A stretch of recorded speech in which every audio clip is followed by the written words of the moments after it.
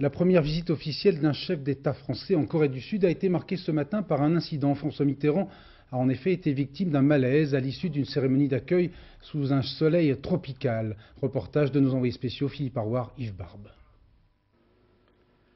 Rude journée pour le président Mitterrand qui s'achève par un dîner officiel offert par le chef de l'État coréen Kim Jong-tiang où tout va pour le mieux. Cinq heures plus tôt, François Mitterrand est victime d'un malaise lors de la cérémonie d'accueil à la Maison Bleue, la résidence du président coréen. 14 heures de vol sans escale, 7 heures de décalage, une chaleur moite, 28 degrés, et des œufs mangés auparavant seraient la cause de cette indisposition.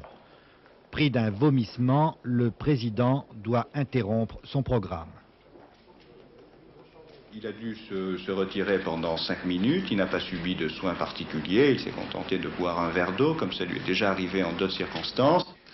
Retour aux affaires, Alain Juppé s'informe de la santé de François Mitterrand, qui le rassure. Les entretiens avec les dirigeants coréens commencent avec 30 minutes de retard et portent sur les dossiers économiques industriels. La France, ayant fait une percée en Corée grâce au TGV, espère bien décrocher d'autres contrats.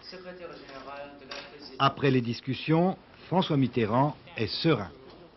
Comment vous allez Vous allez mieux Vous vous inquiété pour euh, l'incident qui s'est arrivé